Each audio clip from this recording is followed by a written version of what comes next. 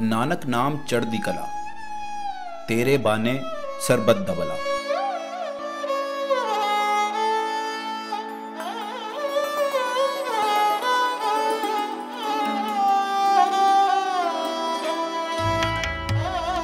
I think today is the best day of my life that I have come here to uh, uh, bestow in front of him and pay my respects to.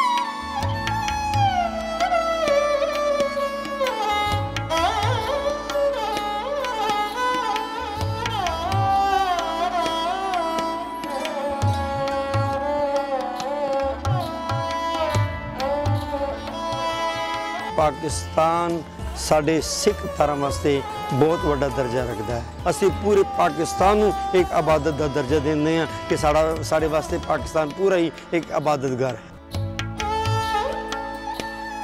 Pakistan ਵਿੱਚ ਰਹਿੰਦੇ ਹੋਏ ਸਿੱਖ ਜਾਂ ਪਾਕਿਸਤਾਨ 'ਚ ਆਉਣ ਵਾਲੇ ਸਿੱਖਾਂ ਨਾਲ ਬਹੁਤ ਜ਼ਿਆਦਾ ਮੁਹੱਬਤ ਔਰ ਬਹੁਤ ਜ਼ਿਆਦਾ ਪਿਆਰ ਕੀਤਾ ਜਾਂਦਾ ਹੈਗਾ।